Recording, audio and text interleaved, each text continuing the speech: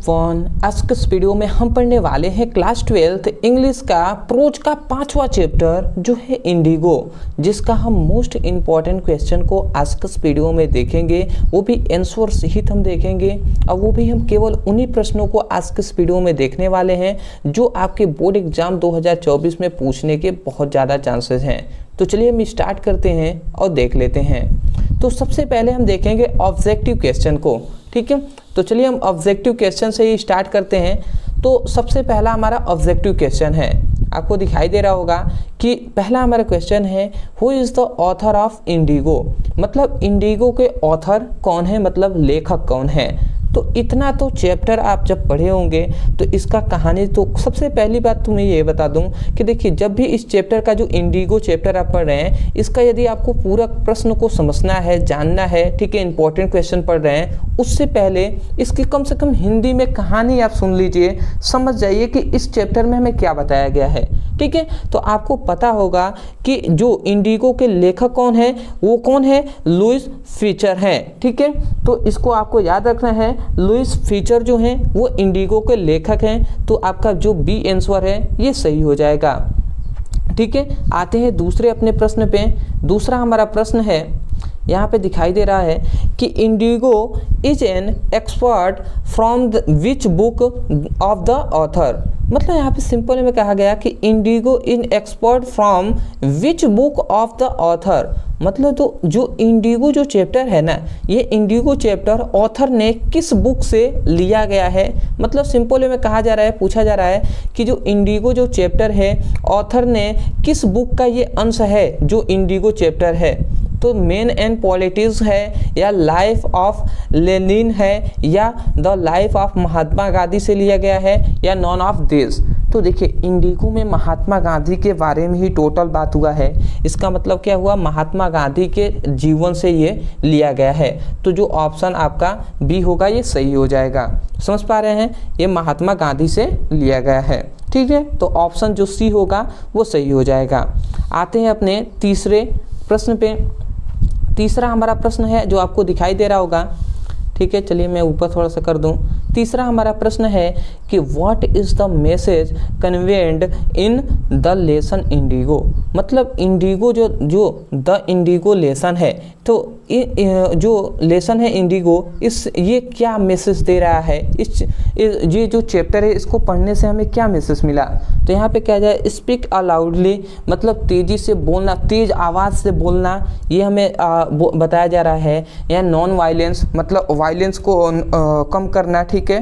तो ये आपको बताया जा रहा है, या voice and courage leadership can resolve any problem मतलब यहाँ पे कहा जा रहा है कि बुद्धिमान, और कर्जिस मतलब होता है साहसी लीडर ठीक है कैन रिजॉल्व एनी प्रॉब्लम मतलब जो बुद्धिमान और जो साहसी जो नेता होता है, ठीक है लीडरशिप मतलब जो लीडरशिप जो नेता होते हैं, वो क्या कर सकते हैं? वो एनी प्रॉब्लम को रिजॉल्व कर सकते हैं, सुलझा सकते हैं तो यही आपका इस चैप्टर में मैसेज दिया गया है। तो ऑप्शन जो सी हो जाएगा, ये सही हो जाएगा। ठीक है? तो ये आपको केवल इस चैप्टर से आपको ये तीन जो हमने महत्वपूर्ण आपको हमने ये बताया है। तो इन तीनों प्रश्नों को ऑब्जेक्टिव जो प्रश्न हमने बताया, इन तीनों को तैयार कर लीजिएगा। और आपको निश्चिंत रहना है, इन सभी का पीडीएफ नोट्स हमारे टेलीग्राम चैनल पे मिल जाएगा। टेलीग्राम पे आप जाइएगा और केवल सर्च कीजिएगा ब्रदर सर, ये हमारे चैनल का नाम है, आप जानते भी हैं तो इसको सर्च करेंगे, टेलीग्राम पे हमारे चैनल आ जाएगा तो वहाँ से जाकर आप इनका नोट्स ले सकते हैं, ठीक है? आते हैं अगले अपने लॉन्ग क्वेश्चन पे।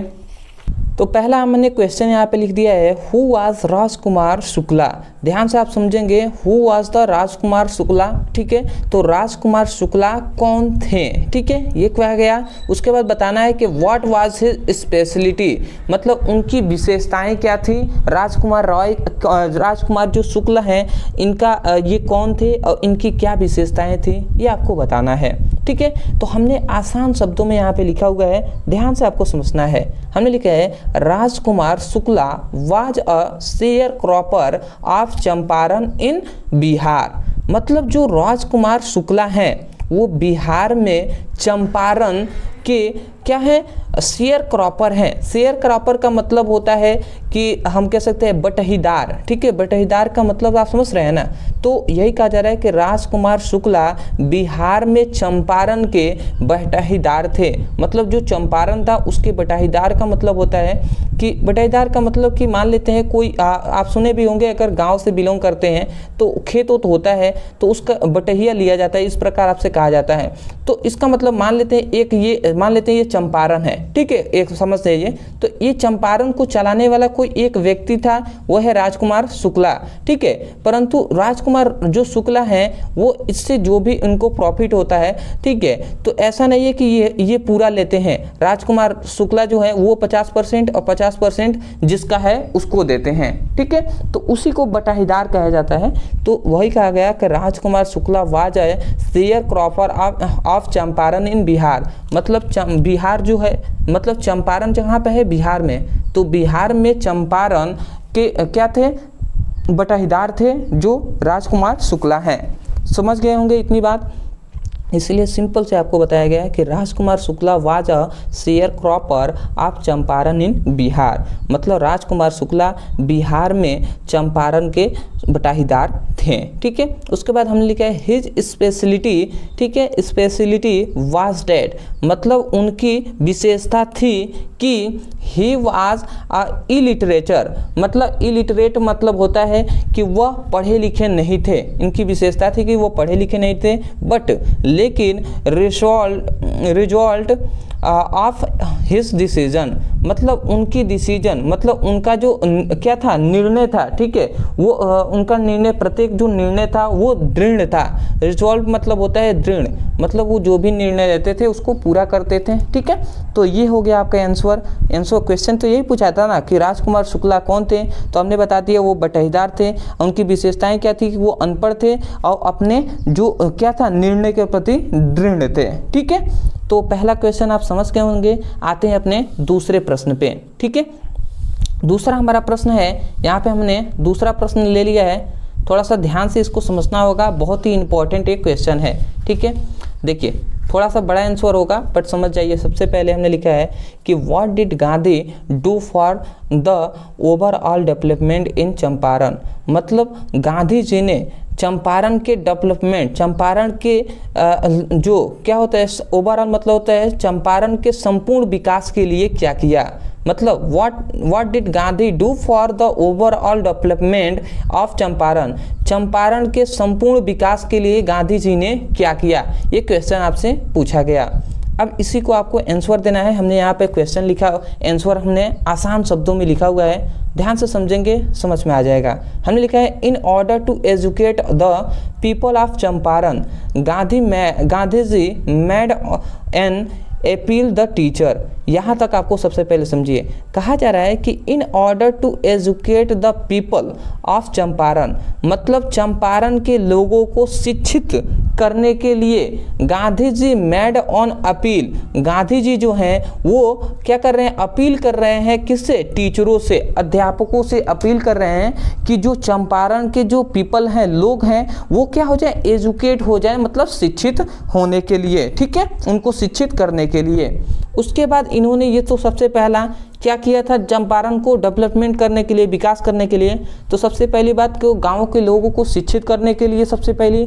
उसके बाद यहाँ से लिखा गया कि primary school were also open open opened in six village to teach children मतलब यहाँ पे कहा जा रहा है कि जो क्या थे, बच्चों के टीच मतलब बच्चों के पढ़ाई के लिए छः छः सिक्स विलेज मतलब छः गाँवों में क्या, गाँव में भी क्या किया गया? ओपन किया गया प्राइमरी स्कूलों को।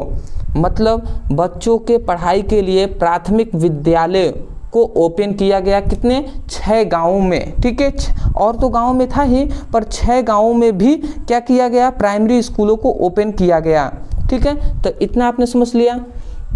उसके बाद एन इन ऑर्डर टू अब थोड़ा सा यहाँ से समझिएगा, फिर से कहा जा रहा है कि an in order to improvement of miserable health condition Gandhi ji got a doctor अब यहाँ तक थोड़ा सा समझ जाइए, कहा यह जा रहा है कि एंड और in order to improvement and miserable health condition Gandhi ji got a doctor मतलब गांधी जी ने सिंपल में समझ जाइए गांधी जी ने एक डॉक्टर रखा हुआ था, ठीक है? मिसरेबल हेल्थ कंडीशन मतलब कि मिसरेबल मतलब होता है कि जो क्या कह सकते हैं सीरियस कंडीशन हम समझते हैं ना?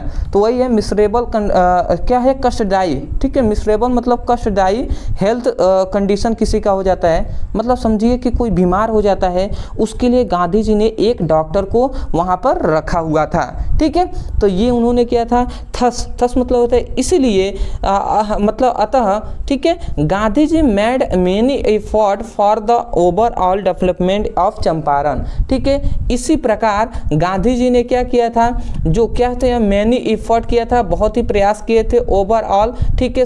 संपूर्ण डेवलपमेंट ऑफ़ चंपारण मतलब संपूर्ण चंपारण के संपूर्ण विकास के लिए मैनी एफर्ट किया था गांधी जी ने, ठीक है, इस प्रकार ही। तो देखिए, हमने सिंपल वे में लिखा हुआ है, आशा करते हैं आप समझ गए होंगे। सबसे पहली बात हमने लिखा, कि in order to in order to educate the people of Champaran, Gandhi made appeal to the teacher मतलब गांधी जी ने क्या किया था? अपील किया था टीचरों से, जो क्या थे? चंपारण के जो लोग थे, उनको शिक्षित करने के लिए। उसके बाद गांधी जी ने primary school were also open in six village to teach children मतलब क्या कहा गया कि जो बच्चों को शिक्षित करने के लिए छः गाँवों में प्राथमिक विद्यालयों को ओपन किया गया, ठीक है? उसके बाद in order to improvement and miserable health condition Gandhi got a doctor Gandhi ji ने एक डॉक्टर रखे हुए थे। किसी के सीरियस मान लेते हैं, किसी का हेल्थ कंडीशन अच्छा नहीं है, उसके लिए किसी का बीमार हो गया तो उसके लिए। ठीक है? इसी तरह, ठीक है Gandhi made many efforts Gandhi ji ने इसी तरह और भी बहुत सारे एफर्ट किए थे for for the overall development in Champaran Champaran के लोगों को क्या विकास चंपारण के विकास के लिए इन्होंने उन्होंने ऐसा किया था, ठीक है? तो इतना आपको आंसर में लिख देना है। आशा करते हैं आप समझ के होंगे। आते हैं अगले अपने प्रश्न पे। तो ये बहुत ही इंपॉर्टेंट ये क्वेश्चन है। इसको भी आप समझ जाइए। देखिए, यहाँ पे हमने लिखा हुआ है सिंपल सा क्वेश्चन है, ठीक है? आपको दिखाई दे रहा है व्हाट हैड हैपन ठीक है? कहा गया what had happen in December 1916 in Lucknow मतलब सिंपल से कहा गया कि जो कहा जा रहा है कि व्हाट हैड हैपन ठीक है, क्या हुआ था इन दिसंबर दिसंबर 1916 को लखनऊ में इन लखनऊ मतलब लखनऊ में दिसंबर 1916 1916 में 16 ईस्वी को क्या हुआ था? तो ये आपको बताना है। देखिए, हमने सिंपल में लिखा हुआ है, आसान शब्दों में आपको समझ में आ जाएगा। हमने लिखा है कि Gandhi ji went to Lucknow in December 1916 मतलब गांधी जी गए हुए थे कहाँ पे? लखनऊ में। और किस दिन? तो दिसंबर 1916 में गांधी जी लखनऊ गए हुए थे, ठीक है? To attend the annual convention of the Indian National Congress party मतलब किसके लिए गए थे? गांधी जी जो गए हुए थे गांधी जी लखनऊ में दिसंबर 1916 को गए हुए थे टू अटेंड अटेंड करने के लिए एनुअल कन्वेंशन एनुअल कन्वेंशन का मतलब होता है वार्षिक अधिनिवेशन. तो वो वार्षिक, जो इंडियन नेशनल कांग्रेस पार्टी है मतलब भारतीय राष्ट्रीय कांग्रेस पार्टी है, उसके वार्षिक अधिनिवेशन पर अटेंड करने के लिए गांधी जी कहाँ पर गए हुए थे? लखनऊ में गए हुए थे, दिसंबर 1916 को। ठीक है? उसके बाद यहाँ से फिर से लिखना है कि Rajkumar Shukla had come to the Congress session मतलब राजकुमार जो शुक्ला हैं, वो had come to the Congress party. मतलब जो राजकुमार शुक्ला हैं, वो भी कांग्रेस जो क्या है, सेशन है, उसमें आए हुए थे, कम हुए थे मतलब आए हुए थे। ठीक है? अब क्यों आए थे? To complain about the injustice of the landlord system in Bihar मतलब किस लिए आए हुए थे? तो शिकायत। ठीक है? टू कंप्लेन अबाउट शिकायत के लिए आए हुए थे इनजस्टिस मतलब जो अन्याय के लिए अन्याय की शिकायत के लिए आए हुए थे। और क्या अन्याय हुआ था? Land landlord system in Bihar. मतलब क्या होता था? बिहार में जो भूमि को हड़पने वाला क्या था? अन्याय हो रहा था, ठीक है? उसके लिए कंप्लेन करने आए हुए थे गांधी जी से, ठीक है?